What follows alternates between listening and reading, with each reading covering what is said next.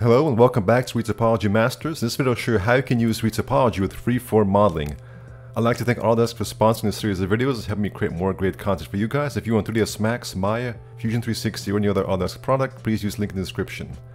Alright, so let's get started. What is freeform modeling? Well, it's one of my favorite forms of modeling. Pretty much what I like to do is just create a plane right here. I will center it and just apply a poly right away. Change the object color. Alright, now I'll apply symmetry and then turbo smooth, let's say two iterations, isoline display, press G turn off the grid, and now I can begin. And what I like to do is you can model from right to left or left to right. So let's go from right to left this time. So I'll select this, move it to the center, and there we go. So pretty much what I'm going to do is just move things around, extrude, and you get this very nice freeform modeling style. I can extrude this edge, for example, and extrude it, move it, rotate, scale any direction. And so you get these very nice freeform shapes. I can then, for example, bridge edges, and it's very good for all sorts of organic modeling. And now I've got this, for example. I can then, let's say, smooth this, I can select this and bridge, for example. And so you get all sorts of really interesting designs happening very easily, very quickly.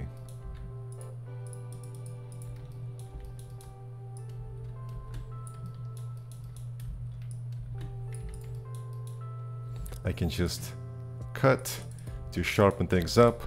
I can cut further and further away to smooth things out. And so we get very interesting designs here.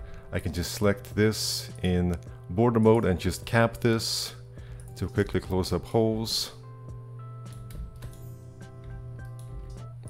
And we can even have very mixed topology because once you subdivide it, subdivision tends to fix a lot of bad results. For example, you can see right now we have triangles, this n-gon here, but after Turbo Smooth you can see it resolves it all into quads. So once I'm happy with this initial stage, I will apply the poly on top. And pretty much what I like to do is to look at the shadows and highlights and further decide where I'm going to go. For example, right here, I can see a little bit of a crease start to happen, so I can kind of stress that by, for example, moving this edge down. So you can see I'm further stressing the beginnings of this crease here. Then I will cut to sharpen things up. And here I don't even have to finish the cut, I can just leave this as an n-gon and we get fine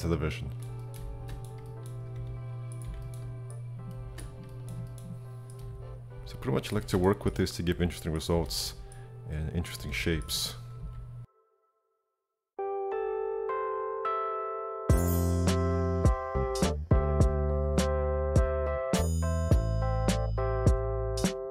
I like to apply symmetry and then apply on top so I can have both sides and I can do something in the center for example.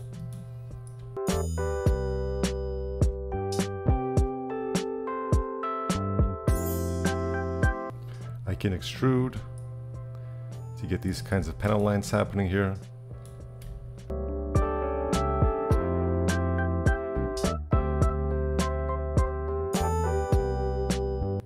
I can apply other poly on telltale smooth. For example, if I want to add some smaller details here, let me just make a copy of this.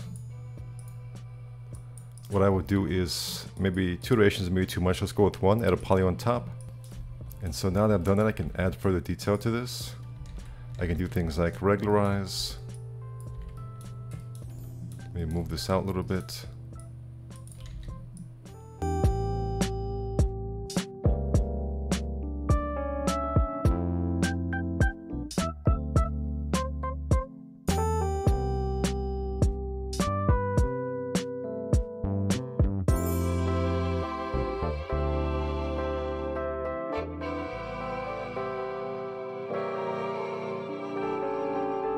As you can see, you get really nice shapes happening here. However, this type of modeling can also greatly benefit from retopology. So for example, if we go back to this, the thing about this is because we're modeling with n-gons and triangles here, when we turbo smooth it, solidified it, you get a lot of uneven topology here, which makes it more difficult to add further detail. You can see, for example, these areas are close together, and then this is much further apart, so this can also benefit from retopology. And a lot of times, certain types of details can benefit from having more even topology. So for example, let's say for example we have lots of holes right here.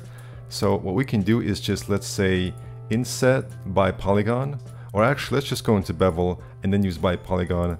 Let's first outline. Okay. Let's apply. And then let's also add a little bit of height as well.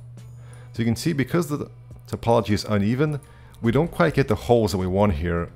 More we get this kind of situation right here. So if we were to topologize this, we get a lot more even polygons here, and we get more of an even type of hole here, as opposed to something resembling a hole and then this kind of elongated shape right here. So let's retopologize this.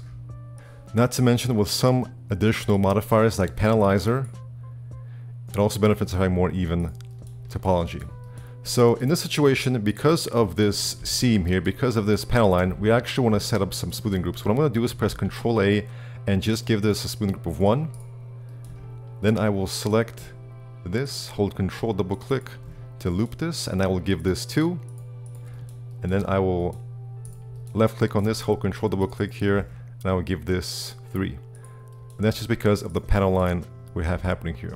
Turbo Smooth, Smoothing Groups option, and there we go.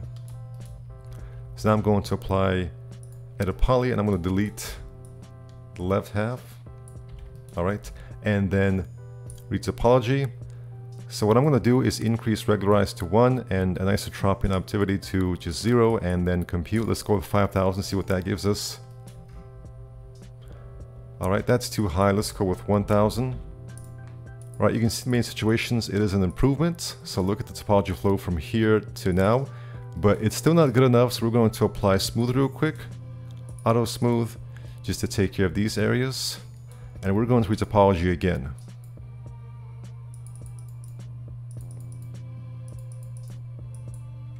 Alright, let's go with, let's say, 750.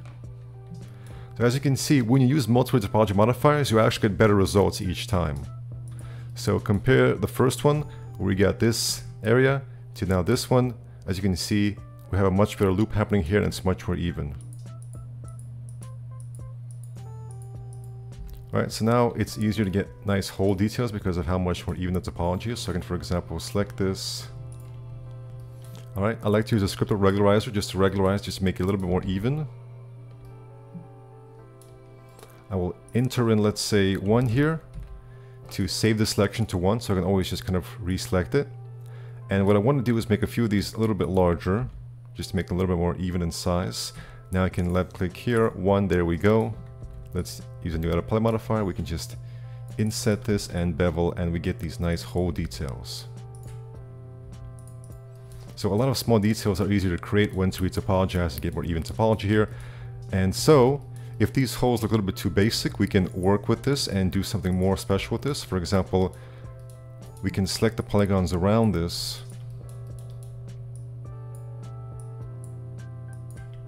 let's say like this. Looks like a nice little shape here and we can just extrude that.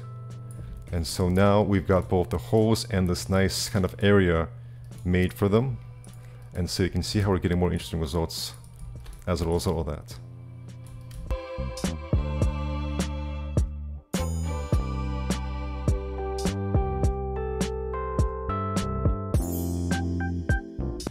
Can see how we get this nice kind of layering of details that really helps to add some nice visual interest to our models.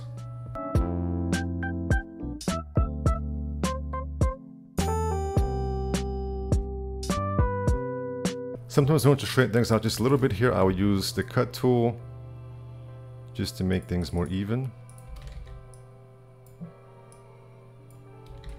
And then don't forget to weld afterwards. So target weld, then hold control, click remove to remove that. So as you can see, I've made this a little bit more even. And so now I can create some nice details here. In order to make this look in more interesting, I can just select one of these and then use set flow or just face constraints and move this.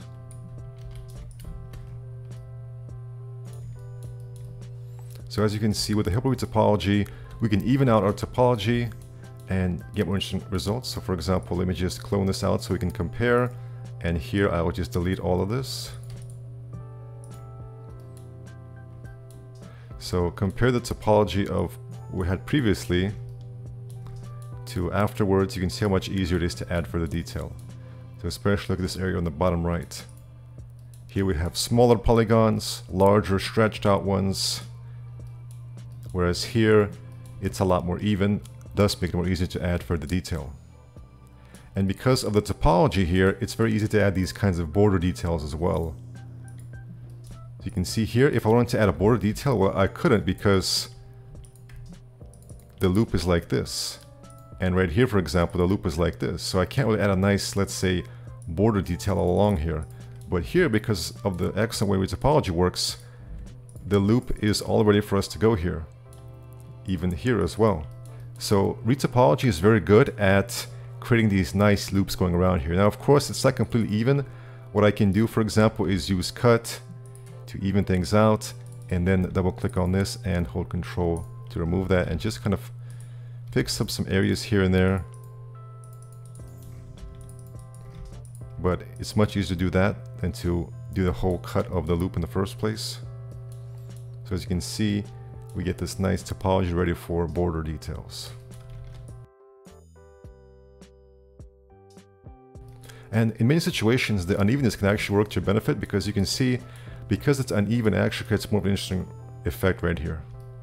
So you can do a little bit of extra work to make it more even, but sometimes it just gives you a more alien result if you don't actually even things out.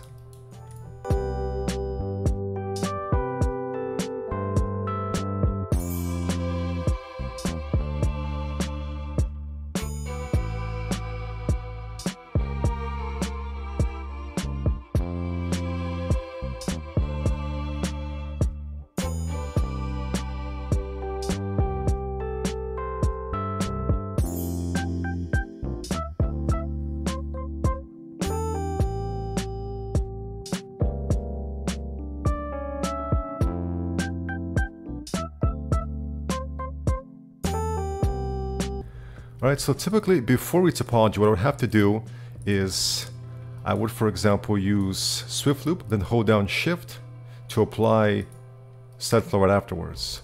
So here, if I insert a loop like this using Swift Loop, you can see how it doesn't match the curvature. And what it would do is make the parts sharper and sharper. However, if you use set flow, it will actually match the curvature of the surrounding geometry. But if you hold down Shift while using Swift Loop, you get that behavior. So this what I had to do previously, or I would have to apply subdivision and then go in here. You can see once again, it's stretched this way. I would have to once again insert loops through here, or for example, remove these loops,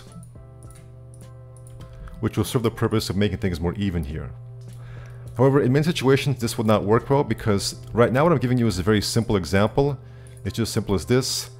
When you have more complex topology here,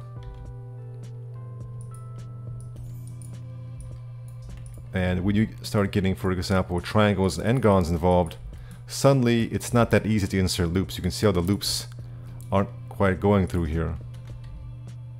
And if you apply a poly on top of that, you know, it becomes very difficult to fix things up. So you can see even in this horrible situation with this happening here, well if we retopology this and maybe have a, a much lower face count here, increase regularize, you can see it actually does even a good job of fixing these situations. So this was before, highly stretched topology, really something bad happening here. After topology, look at this right here for example. Much more even, much easier to work with, and even though this is a very bad result, you should avoid this. Retopology makes it easier to fix this because now we can just select this face constraint, just kind of move this out. And you can see kind of fixes that for us. So retopology can even fix up situations like that and still give you nice clean results to work with.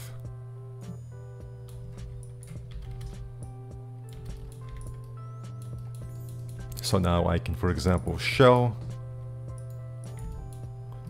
And then let me increase the outer amount and then hit a poly. And I can easily further work with this. For example, what I would do to add more interesting details is just say hold down shift to select this. First I will start just by moving this. Alright, maybe using make planar to flatten this out. And then we can maybe move this a little bit just to even this out. And then extrude that. And so I can just apply symmetry, move this a little bit over here to get some sort of, let's say, symmetrical armor pad. And so already we're getting much more interesting results happening here. So Retopology can really save you in many situations and give you the better topology for much easier further detailing.